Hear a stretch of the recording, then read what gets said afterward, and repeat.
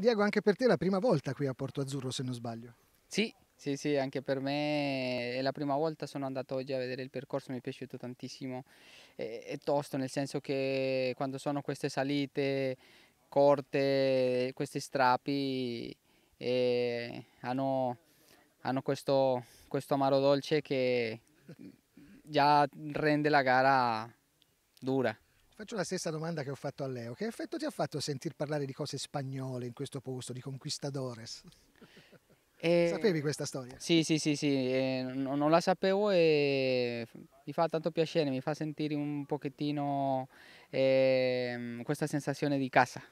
questo, sì. questo, è importante. Come sarà la gara di domani? Una gara calda, una gara che vi prepara a appuntamenti molto importanti, credo. Eh? Sì, sì, sì, siamo già alle porte de, della Sela Ronda che non si può nascondere che è uno degli appuntamenti più importanti ormai per tutti e, e niente, speriamo di essere in grado di dare una, un bel spettacolo per tutti, ci stiamo, stiamo sfruttando diciamo, il momento eh, di, di forma che abbiamo e speriamo di continuare a sfruttarlo finché si può.